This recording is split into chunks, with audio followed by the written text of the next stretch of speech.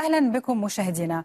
بعد الإعلان عن احتجاز البحرية الإيرانية سفينة إسرائيلية قرب مضيق هرمز تساءلت صحف أجنبية عن حدود الرد الإيراني معتبرة أن مسارعة الولايات المتحدة لتعزيز وجودها في المنطقة يعكس قلقها من أن دعمها لإسرائيل في الحرب على غزة يمكن أن يؤدي إلى حرب أوسع.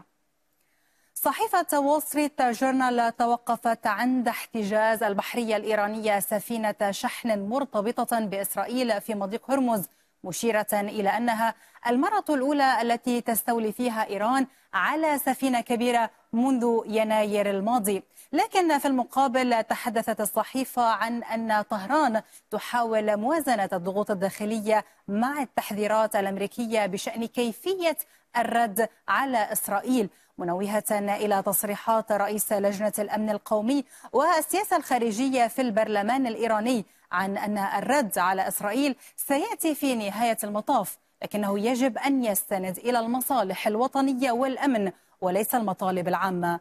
ورأت الصحيفة أنه في وقت تطرح تساؤلات بشأن حدود الرد الإيراني على إسرائيل فإن أي هجوم صاروخي إيراني واسع النطاق على إسرائيل من شأنه أن يؤدي إلى رد فعل مضاد شديد مما يدفع الشرق الأوسط إلى حافة حرب أوسع.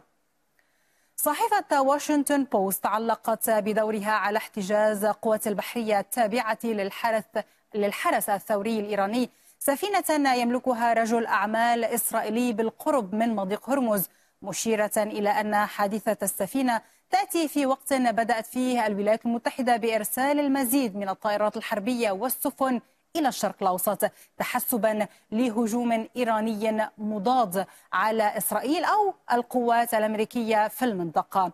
ورأت أن تحرك البنتاغون لتعزيز الوجود الأمريكي في الشرق الأوسط يعكس قلق إدارة بايدن من أن دعمها للحرب الإسرائيلية على غزة يمكن أن يؤدي إلى أعمال عنف أوسع نطاقاً.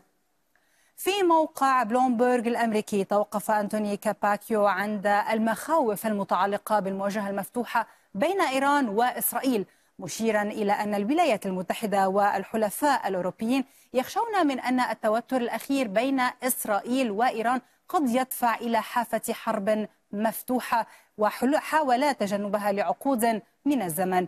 ورأى أن الحرب بين إيران وإسرائيل يمكن أن تضع بعض الدول العربية في موقف صعب لكن من غير المرجح أن تقف أي دولة عربية إلى جانب إسرائيل ضد دولة مسلمة. في سياق آخر وفي صحيفة واشنطن بوست أيضا تطرقت كارين ديونغ إلى غياب الحلول لدى الإدارة الأمريكية فيما يتعلق بإنهاء الحرب على غزة مشيرة إلى أن كل أمال وخطط إدارة بايدن لإنهاء الحرب على غزة والتحرك نحو حل الدولتين تعتمد على وقف مؤقت لإطلاق النار وإطلاق سراح المحتجزين الإسرائيليين. وأنه وسط تصاعد التوتر لا توجد خطة بديلة وأن كل ما تملكه واشنطن هو مواصلة الجهود للتوصل إلى اتفاق في حال فشلت هذه الجولة من المحادثات. خاصة وأن علامات التفاؤل التي ظهرت هذا الأسبوع بشأن اقتراب التوصل إلى اتفاق لوقف إطلاق النار في غزة بدأت تتلاشى. وتنقل عن مسؤولين أمريكيين أن الضغوط الدولية المتعلقة بسلوك إسرائيل في غزة ومصير المحتجزين وتسليم المساعدات الإنسانية وإمدادات الأسلحة الأمريكية سوف تتبدد إذا تمكنوا فقط من التوصل إلى اتفاق لوقف النار حتى لو مؤقتا.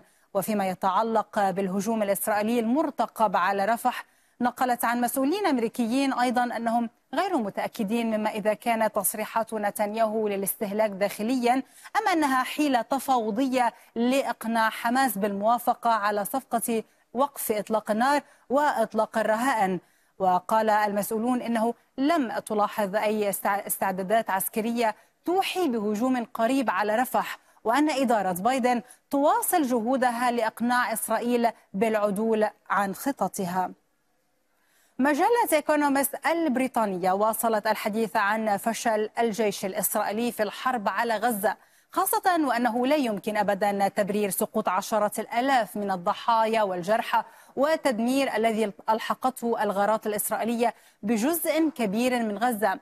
ورأت أنه في وقت يطالب فيه عدد من الساسة والضباط العسكريين أن تكون القنابل والرصاص بديلا عن الرؤية السياسية لنهاية الحرب فإنه من دون خطة للسلام سينتهي الأمر بإسرائيل كدولة احتلال وستدفع ثمنا باهظا عسكريا واقتصاديا وأيضا دبلوماسيا. ولفتت إلى أن الجيش الإسرائيلي يعتمد على دول عدة وعلى رأسها الولايات المتحدة وألمانيا لتزويد لتزويده بالأسلحة.